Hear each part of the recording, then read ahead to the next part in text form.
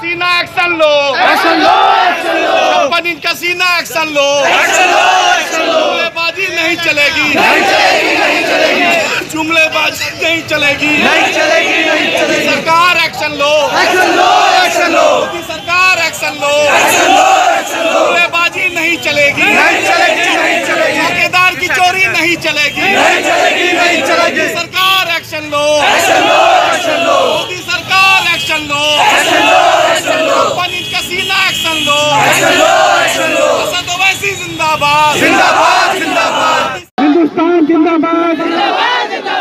हिंदुस्तानी सेना जिंदाबाद। हिंदुस्तान की जनता जिंदाबाद। की बेजा शहादत शहादत बेजा तौर पर उनकी कत्ल की मैं निंदा करता हूँ। हम इन तमाम तर शोदा को, खराज अकीदत पेश करते हैं और हुकूमत की जो नाकामी रही है और इंटेलिजेंस जो नाकामी रही है, हम उस पर अफसोस का इजहार करते हैं। और साथ ही आतंकवादी तमाम तर शक्तियों की हम निंदा करते हैं।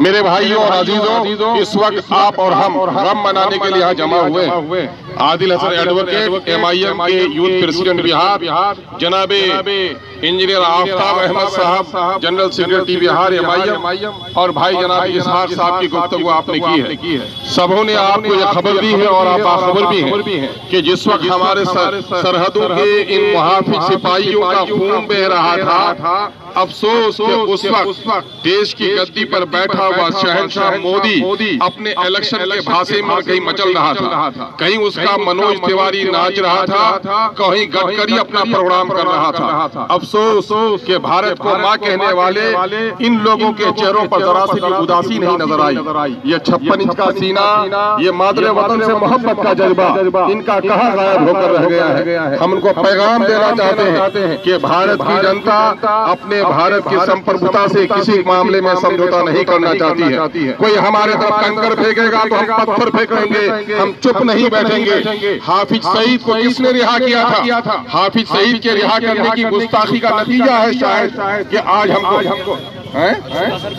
मसूद मजहर को मसूद मजहर को मजहर को मसूद मजहर को मजहर को।